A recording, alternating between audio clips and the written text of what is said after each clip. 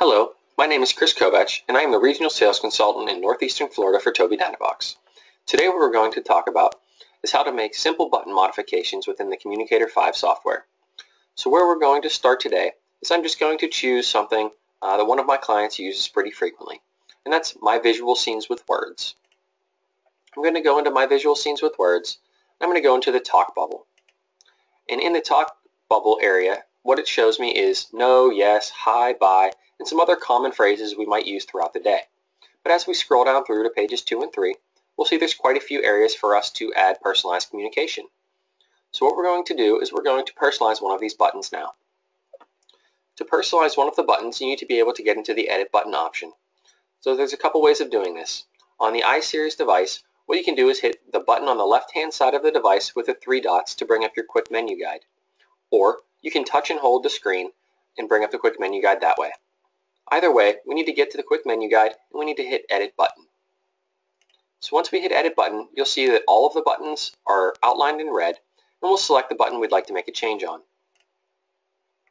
We're now presented with the edit button options. You can use, or I'm sorry, you can read through uh, this quick pop-up that says use this edit button tool to quickly change the contents of one button. To change several buttons simultaneously or for advanced editing, use edit view, which we'll cover in a different, uh, a different video.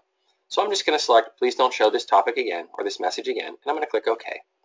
So now what I want to do is I want to program the text that I want on my new button. In this case I just wanted to say go away please. Now that's the text that will be displayed on my button as you can see over here on the preview. Now I want to put an image on that button as well and I want to try and keep it consistent with the rest of the images. So I'm going to type in away and I'm going to search for something that looks like uh, I want someone to leave me alone. I want to be by myself for a few minutes. Uh, and actually, this one looks perfect. So I have a, you know, a figure here pointing to please go away from another uh, to another figure. So I'm going to use that as my symbol or as my image. And now what we're going to do is we're going to uh, put sound onto that button. Now we have a couple options for sound. We can use the synthesized speech, which is the voice built into the device, which is what's consistent with the rest of this page and we can listen to how that would sound. Go away, please. Go away, please. Now, if we didn't like that or we wanted someone to have personalized feedback, we could actually record a voice uh, of our own by using the recorded sound function. And we can record mom, dad, the SLP, or someone else saying, go away, please, or do that for any of these buttons. So I'll demonstrate that for you now. When you hit record sound, it will bring up the record uh, new sound option bar. To record a sound, you simply click, click the record button, speak into your microphone uh, on your computer or on your, uh, on your device, and then hit the stop button. So we're going to do that now. Go away, please. And I'll hit stop, and I can preview that before putting it on the button. Go away, please. And if I'm happy with it, I can just hit finish. If not, I can re-record over it and continue on my way. So I'll hit finish, and now I have the choice of putting that synthesized speech or the recorded voice onto that button. Go away, please. Or Go away, please. Now some of the options, uh, some of the other options that exist are adding a different sound file. So if we had multiple recordings already done and we were just multiple, or uh, using the same recording in multiple locations, we could browse for that file now and add that uh, to the button as well. Or we can tell it that we don't want any sound on the button. In this case, we're going to keep it consistent.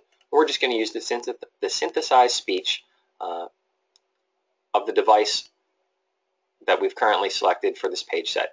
Um, what you can also do is tell the device to speak only the button on the text, which is what you physically see, the go away please, or if you wanted to, you could type in a completely different message. So you could make it say, please give me a few minutes, or please go away, I want to be alone. You can program it to say whatever you want so that the verbiage that you see on the button doesn't necessarily have to match what the button says when it's pushed. But in this case, we're just going to leave speak text on the button. And we're going to click OK. And now you'll see that my button has been saved. Go away, please. Okay. So now uh, we've made the modification to that button, but we haven't actually changed the, the page set. So if we were to exit now and not save, our changes wouldn't be there. So what we can do is, there's a couple ways to do this. You can hit back, hit the three bars and exit, and it'll ask you, do you want to make the changes? And you can say yes. And then you can actually resave that document as uh, another name and or keep the same name and you'll be presented with some options to replace the link as the old uh, to replace the link which is what they recommend. So this would be the default to add it in duplication to the old version or to not change it and not make the save at all. So we'll just say yes replacing the link to the old version and we'll hit OK. So now we've made our change. And when we go back into my visual scenes with words we go back into talk we'll navigate down to where our button is and you'll see we have our button. Go away, please. Okay, so if you have any questions, please don't hesitate to contact us. Thanks, and have a great day.